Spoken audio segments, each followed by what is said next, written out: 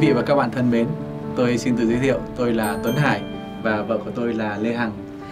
Tôi là thành viên của Hiệp hội Tư vấn Hoa Kỳ là thạc sĩ về tâm lý học. Chúng tôi đã kết hôn được 16 năm nhưng mà hơn cả điều đó thì chúng tôi đã cùng nhau trong lĩnh vực hôn nhân gia đình. Chúng tôi làm công tác tư vấn và giảng dạy về khía cạnh này với mong ước có thể đem được một điều gì đó để góp phần giúp đỡ cho các gia đình của người Việt Nam.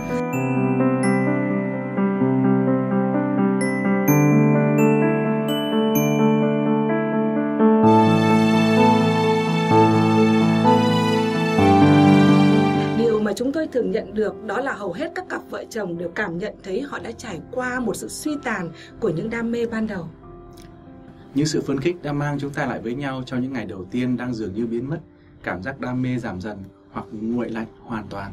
Tình yêu và những cảm xúc thăng hoa trở lên nguội lạnh để lại trong chúng ta chỉ là sự mệt mỏi, chán nản và những bổn phận hững hờ. Chúng ta vẫn sống chung trong một mái nhà, nhưng đôi khi lại là vì con cái, vì các ràng buộc về trách nhiệm, rồi theo năm tháng thì là vì danh dự, thậm chí là vì tài sản, vì sự chia tay khiến chúng ta phải trả giá rất đắt. Và một câu hỏi lớn đặt ra cho chúng ta là tại sao mối quan hệ vợ chồng lại bị thay đổi theo thời gian? Điều gì đã xảy ra với mối quan hệ tuyệt vời mà chúng ta đã trải nghiệm trong giai đoạn đầu của tình yêu? Tại sao những cảm xúc yêu đương ban đầu dần trở nên mờ nhạt, lạnh lẽo, thậm chí có thể ra đi mãi mãi?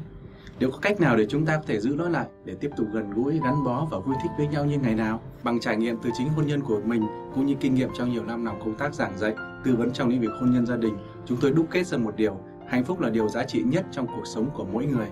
Vậy nên việc học biết về những vấn đề trong gia đình luôn là những điều cần thiết để có thể giữ cho cuộc sống được cân bằng và hạnh phúc đích thực.